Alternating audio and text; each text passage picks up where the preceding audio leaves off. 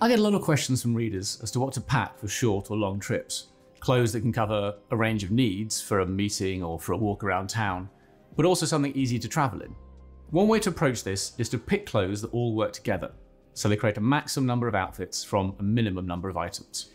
In this first of two videos, I'm going to show you what I would pack for three days away.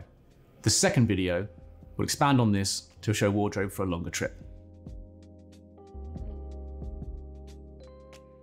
First of all, I've picked a soft shoulder jacket in a grey herringbone tweed.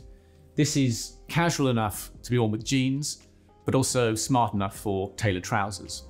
And then I've picked a cream shawl collared cardigan. This also bridges smart and casual, and a shawl collar is a useful piece because it works equally well with a shirt and a t-shirt. Cream is also a really good colour in knitwear as it goes with everything, and you're unlikely to be wearing cream anywhere else, so it's not going to clash with anything.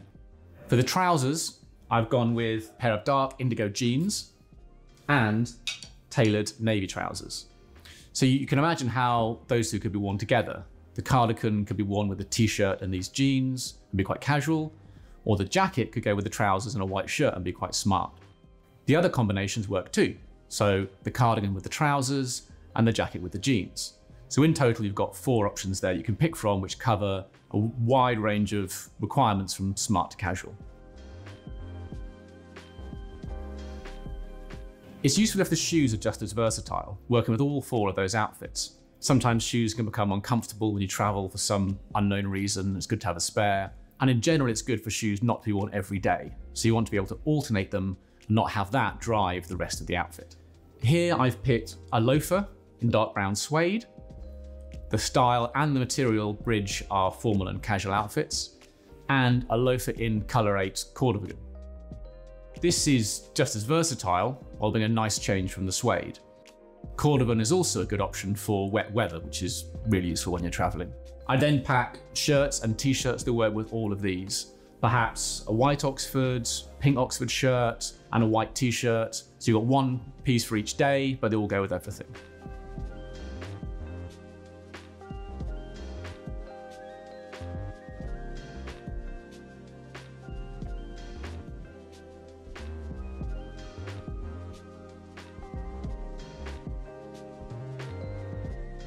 Remember, you'll be wearing almost half these clothes when you travel, so there isn't that much to actually pack. For guidance on actually packing, see our previous video linked to below. Next time, we'll expand on this into a longer trip.